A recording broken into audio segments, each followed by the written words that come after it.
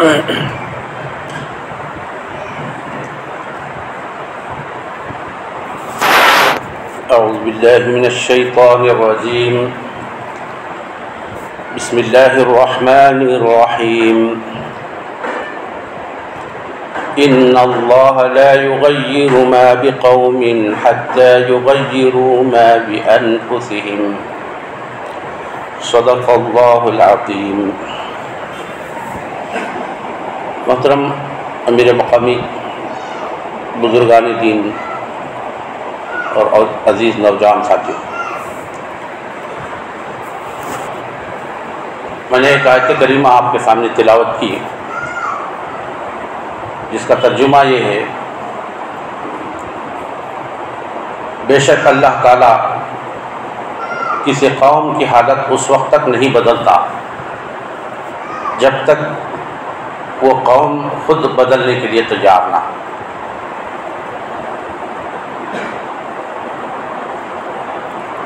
तो इस आयत करीमा में अल्लाह ताला ने किसी कौम की पोजीशन को तब्दील करने का एक अहम उसूल बयान किया है।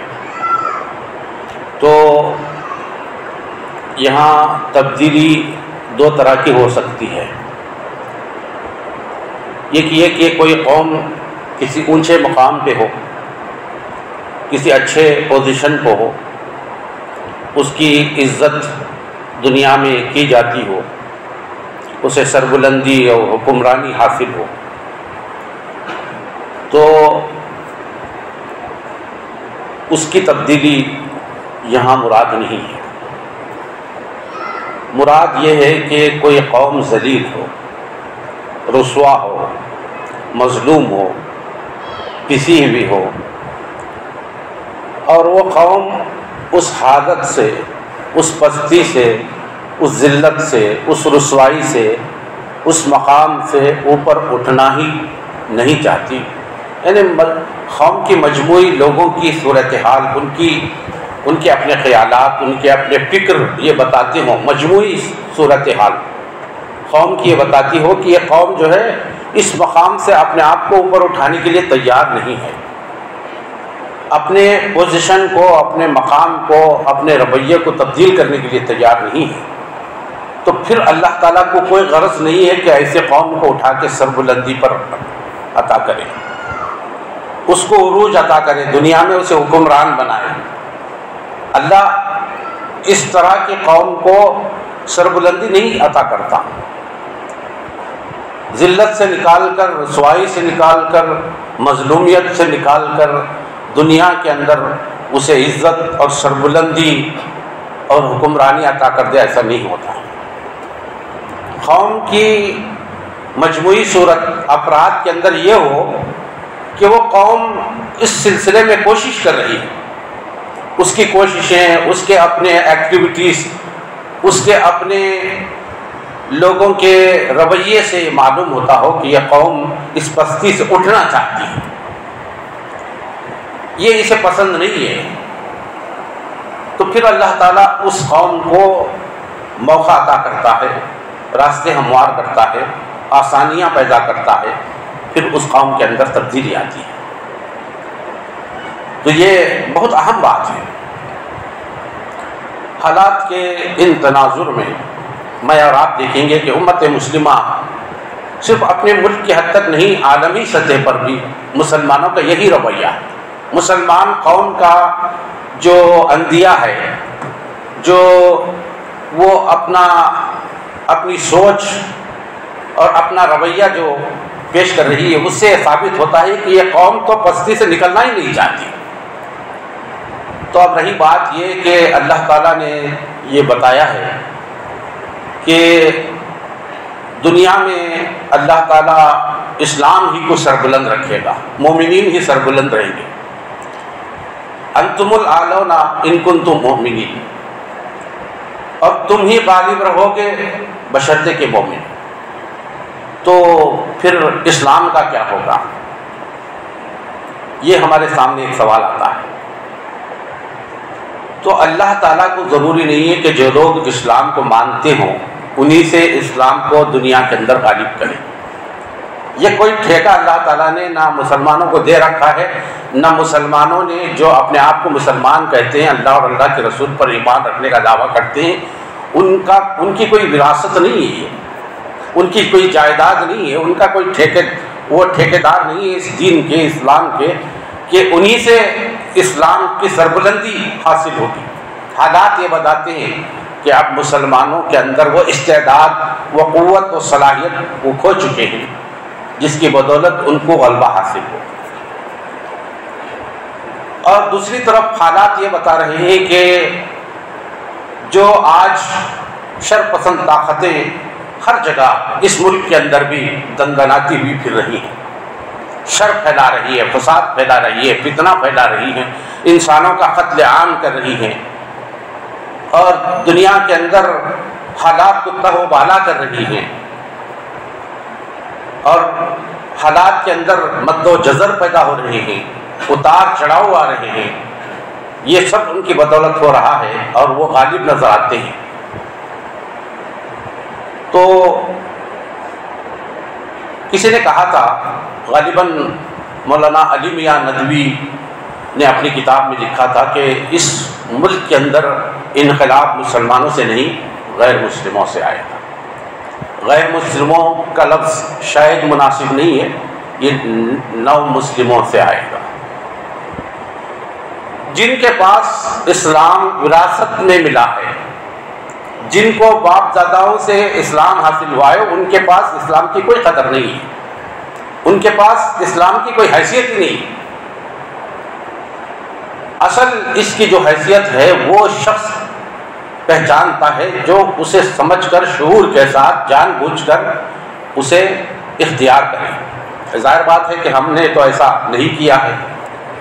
इसीलिए जितना भी एहसास और शूर बेदार करने की की, ज, की जा रही है ये बेसूद साबित हो रहा है। बेफायदा साबित हो रहा है। तो ये ना समझे मुसलमान के इस मुल्क के अंदर इस्लाम का गलबा गलबा तो ज़रूर होगा दुनिया के अंदर पूरी दुनिया में होगा इस्लाम का गलबा अल्लाह के रसूल वसल्लम के हदीस है आपके परमुदात हैं कि दुनिया के अंदर हर घर के अंदर इस्लाम पहुंचेगा। हर छो, छोटी छोटी तक भी इस्लाम पहुंचेगा।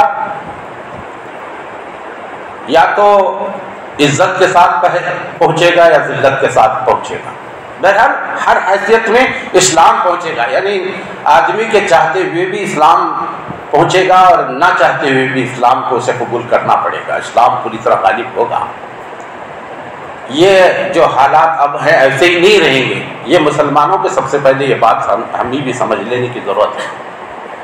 तो हालात के बहाव में आकर हम लोग जो है अपने इस्लाम को की जो कदर नहीं कर रहे ये बहुत बड़ी हमारी जो है काहली है और बहुत बड़ी गफलत है जो हम इख्तियार किए हुए हैं। हमारा मुल्क भी इस वक्त जिस सूरत हाल से गुज़र रहा है, उसने बजा तौर पर मुल्क के कैरकाहों और तमाम संजीदा लोगों को तशवीश में मुबतला करके रख दिया। एक तरफ़ तो बड़े ज़ोर शोर से पचहत्तरवीं आज़ादी का अमृत महोत्सव मनाया गया। उसके लिए महीनों पहले तैयारियाँ की गई और महीनों बाद भी उसकी जश्न जारी है। ये दिखावे के सिवा कुछ नहीं और गुज्त चंद माह के दौरान इस मुल्क के अंदर जो वाक़ात रूनुमा हुए हैं, शायद आज़ादी के बाद सत्तर पचहत्तर सालों में वो वाक़ात रूनमा हुए हों। वो चंद ही महीनों में वो पूरे आब ताब के साथ इस मुल्क के अंदर रूनमा हुए और वो इस बात की तरफ़ इशारा दे रहे हैं कि अब हालात इसी तेज़ी के साथ इस रुख पर जाने वाले हैं। और जो बाशूर लोग हैं और खसूस मुसलमानों के लिए एक इंतबाह है एक ये अल्टीमेट है कि वो आगाह हो जाए, जो शूर रखते हैं, एहसास रखते हैं, जिनको समझ बूझ है, वो समझ ले कि आप हालात किस रुख जाने वाले हैं और जा रहे हैं। क्योंकि हमने वो देखा है, उसकी तफसीलात में हमें जाने की ज़रूरत नहीं, सबको पता है। इसके बावजूद, हमारी ये गफलत और काहली या कहिए कि हमारी बेहिसी काबिल है हैरत में डालने वाली है। और समझदार लोग बड़े हैरत ज़दा हैं कि आखिर इंसानों को हो क्या गया है। ये फ़िक्र सिर्फ़ मुसलमानों के समझदार अपराध को नहीं है। इस मुल्क के अमन पसंद हर शहरी के अंदर ये एहसास पैदा हुआ है। चाहे वो मुस्लिम हो, गैर मुस्लिम हो, और जो सेकुलर पसंद लोग हैं, इस खतरे को उन्होंने भांप दिया है कि आगे होने क्या जा रहा है इस मुल्क के अंदर। और वो बड़े फिक्रमंद हैं। कि इन हालात के का जो तूफ़ान खड़ा हुआ है, उस तूफ़ान का सद्देबाब कैसे किया जाए? उसका बंद कैसे बांधा जाए कि इस तूफ़ान का मुकाबला किया जा सके, इसे रोका जा सके? ये तूफ़ान है। जो उठा हुआ है, इस तूफ़ान को रोकने के लिए सारे लोगों की कोशिशें ज़रूरी हैं। ये चंद लोगों की कोशिशें, चंद लोगों की मेहनतें काफ़ी नहीं है। हर फर्द इस ज़िम्मेदारी को, इस एहसास को अपने अंदर पैदा करे कि इसमें हर फर्द का इन्वाल्व होना, इसके लिए अपना ताउन देना, इसके लिए उठ खड़ा होना लाजमी है, वरना इस तूफ़ान को नहीं रोका जा सकता। अब हमारी अपनी रियासत में इलेक्शन का मौका है। तो इस मौके पर मैं आपको कहूँगा कि आप लोग समझदारी से इसका काम लें। क्योंकि हमारा एक वोट भी बहुत कीमती है। हम इसे मामूली ना समझें। अगर अभी हमारे जूम मीटिंग में भी तो हमारे नायब अमीर हल्का ने मोहम्मद यूसुफ कुन्नी साहब ने वो बात रखी कि कितना मुसलमान जो है वोटिंग का जो तनासब है मुसलमानों का। 40 परसेंट अगर मुसलमान वोट न दें, अपना वोट का इस्तेमाल न करें तो बताइए कि कितना बड़ा नुकसान है। जो जिस कैंडिडेट को, जिस पार्टी को, जिस पद को हम हराना चाहते हैं, हमारा वोट अगर ना बढ़े ना, हमारा वोट अगर ना डले तो फिर इसका नुकसान हम ही को उठाना पड़ता है। और ऐसा हुआ है, उसकी मिसालें उन्होंने पेश की। हुआ भी है। हम समझते हैं कि ये जो कैंडिडेट खड़ा है, उसकी ज़िम्मेदारी है, उसका फ़र्ज़ है कि हमको हमारी अपनी मजदूरी दे। एक दिन की, एक वक्त का, की मजदूरी देकर हमको बुलाए तो आएँगे हम वोट डालेंगे। हमको ये पता नहीं है कि ये हमारा फ्यूचर है, हमारा मुस्तकबिल है। अपने मुस्तकबिल पर हम अपने कुल्हाड़ी को अपने पाँव पर, अपने ख़दम पर अपनी कुल्हाड़ी मार ये हम, हमको समझ में नहीं आ रहा। जब जालिम हम पर मुसलत हो जाता है, वावेला मचाते हैं, चीखते हैं, चिल्लाते हैं, ये हुआ, वो नहीं। देखिए आप, हालात क्या क्या क्या कुछ हो रहे हैं। बच्चों के स्कॉलरशिप तक नहीं आ रहे जो सहूलियात पहले थी, वो सब ख़त्म हो गई।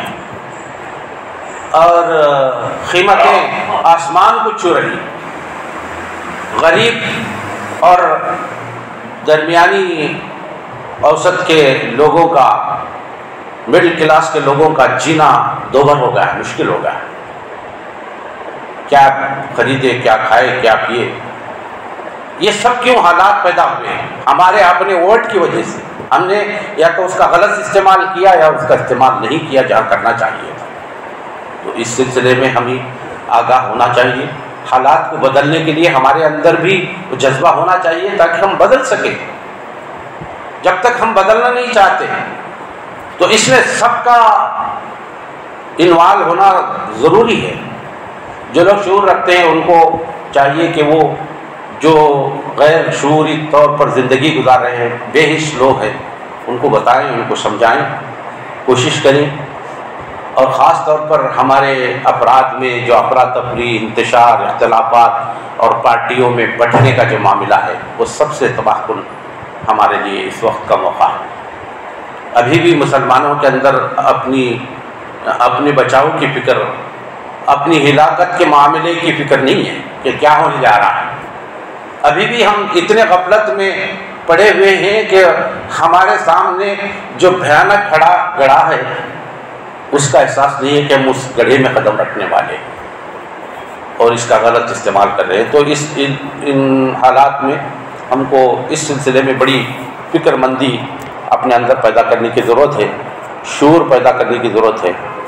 और दूसरी बात, आपको ये बताऊँ कि इन हालात में के जो हमको करने के काम हैं एक तो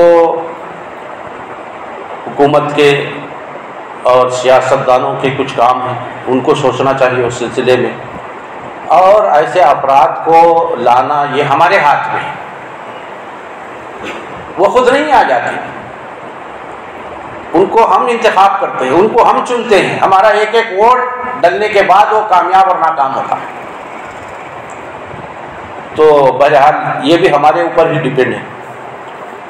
और दूसरी तरफ़, हम मुसलमान होने के नाते हमें दूसरी बात की तरफ़ तोज्जो देने की ज़रूरत है। वो ये कि मौजूदा हालात में हमें अपने अंदर तब्दीली की ज़रूरत है और हालात हमें दावत दे रहे हैं कि हम अपना रवैया तब्दील करें। हमें अपनी माशरती बिगाड़ को दूर करने की ज़रूरत है। गफलत दूर करके अपनी और अपनी नस्लों की असलाह के लिए फ़िक्रमंद होने की ज़रूरत है।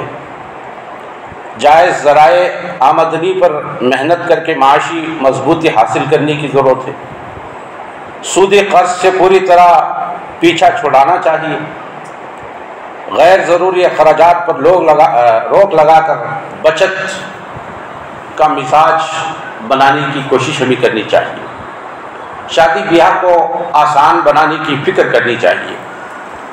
बच्चों की निगरानी और उनको बुरी सोहबत से बचाने की हमें फ़िक्र करनी चाहिए।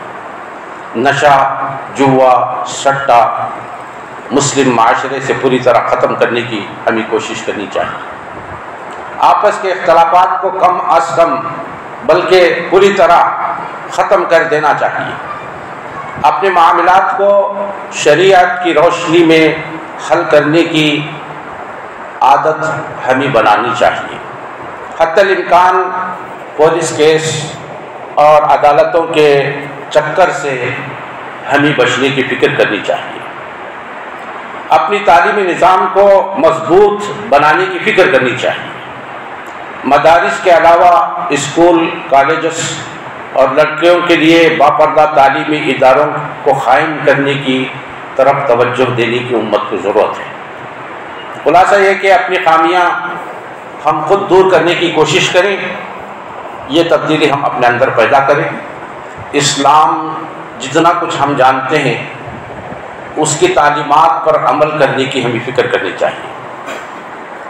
इन तमाम बातों के साथ ये बात हर वक्त जहन नशीन रहनी चाहिए कि हमारा असल वजूद, ईमानी वजूद है। इसके अलावा हमारा कोई अपना वजूद नहीं है। तो हमें अपने और अपनी नस्लों के ईमान की और उसके तमाम तकाज़ों और तफसीत की हिफाजत के साथ ही इस मुल्क में रहना है इन ताला। और ये हक़ हमारे तमाम हकूक़ से बढ़कर हमें हासिल है और ये हक़ हमें कुदरत ने भी दिया है और इस मुल्क का दस्तूर ने भी हमें यह हक़ दिया है। तो इस हक के बच, को बचाने के लिए हम कोशा हों उसके लिए मेहनत करें और ये बेहतरीन मौका है कि हम अपने दस्तूर का जो हक़ है उसे बचाएँ। ये वोट हमारे अपने दस्तूर के हक होने का एक बेहतरीन सबूत है। तो इसका इस्तेमाल हमको इसका शहरी बनाता है और कुछ इतला देने वालों ने ये बात इतला दी है कि जो लोग वोट का इस्तेमाल नहीं करते, उनकी शहरीत उनकी सिटीजनशिप मनसूख होने वाली है। तो इसका भी ख्याल रखना चाहिए। हम अपने अहबाब को, अपने जान पहचान वालों को, मुलाकात करने वालों को जिन तक हमारी रसाई हो सकती है, उन तमाम लोगों को इस बात की इत्तला दें। और ये सबसे बढ़कर हमारे अपने फ़ायदे की चीज़ है कि वोट हम डालें और अपनी, अपने नस्लों की, अपने मुस्तबिल की हिफाजत का और सबसे बढ़कर अपने दीन और शरीयत की हिफाजत का सामान इसमें अल्लाह ताला ने रखा है। तो बहर अल्लाह ताला हम सबको समझ बूझ अता करें और जो हम जानते हैं अल्लाह ताला उसके मुताबिक हमें अमल करने की